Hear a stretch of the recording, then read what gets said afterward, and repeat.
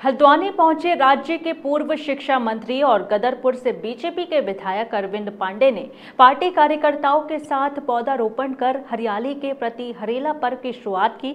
इस दौरान उन्होंने सभी से अधिक से अधिक संख्या में पौधा लगाने की अपील भी की। वहीं शिक्षा मंत्री धन सिंह ने मीडिया से बातचीत करते हुए कहा कि कांग्रेस के लोग जिस तरीके से उत्तराखंड के लोकप्रिय मंत्री धन सिंह रावत पर बेबुनियाद आरोप लगा रहे हैं वह पूरी तरह से गलत है।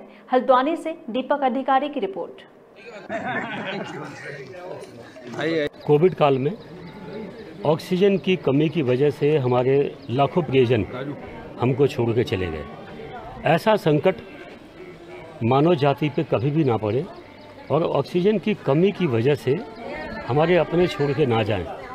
इस महत्वपूर्ण विषय को और जो हरेला इस उत्तराखंड का लोक पर्व त्यौहार है इसको और स्वस्थ और सबल बनाने के लिए